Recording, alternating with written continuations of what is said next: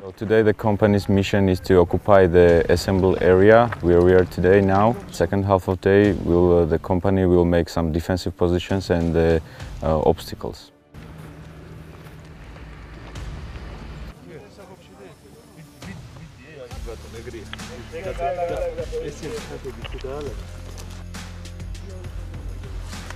Very important exercise because we uh, we are changing the platoons with like national company and uh, just Georgian company.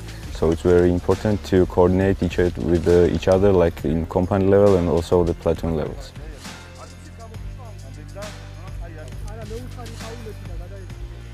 The American advisors is pleasure and big honor to work together. They are looking uh, our uh, job here, what we are doing here, and they are giving us the advices and choices, what we have to do, what was the good and bad.